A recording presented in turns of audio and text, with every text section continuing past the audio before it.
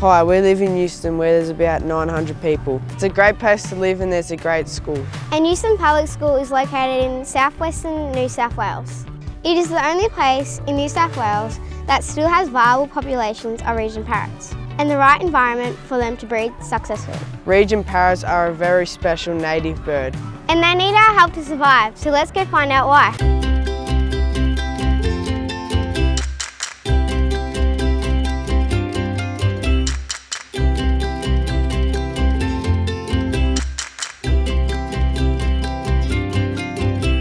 So Mick, tell us about the Regent parrots. Well, Regent parrots are, are large parrots.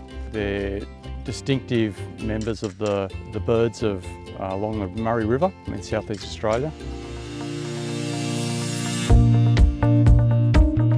Are Regent parrots an endangered bird? The Regent parrots are classified as endangered in New South Wales and they're vulnerable in Australia. The male Regent parrots are ye mostly yellow in colour and the females are mostly green.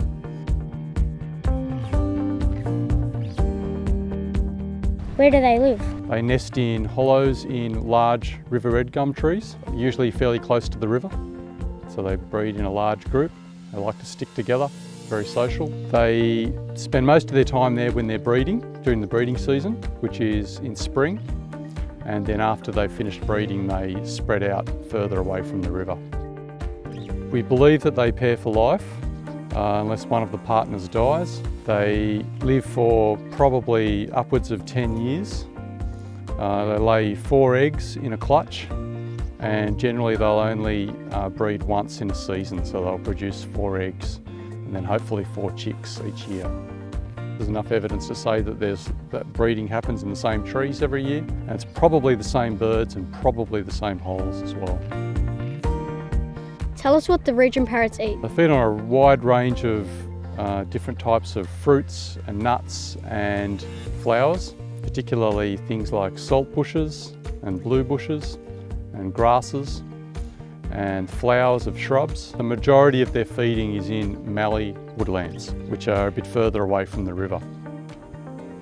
The male will feed the, the female in the nest with the chicks until the chicks get a bit older and then the female will leave the nest for long periods of time as well and she'll go and collect food and bring it back to the chicks as well.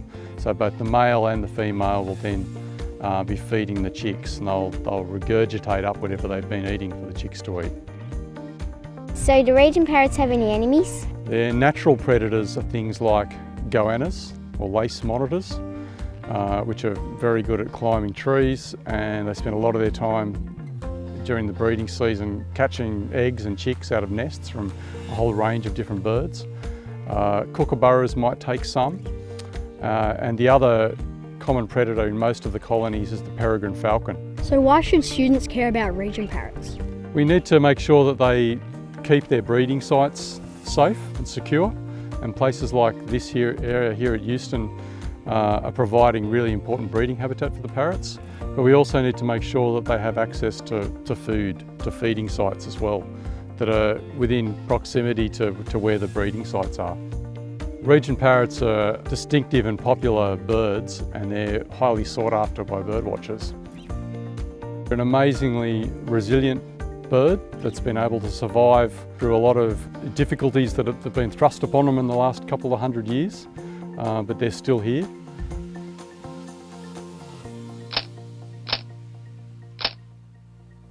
Well, Regent parrots are one of the more uh, distinctive um, parts of nature in, uh, in the Euston area. Uh, there aren't too many places that have Regent parrots, certainly as many as what are in the Euston area.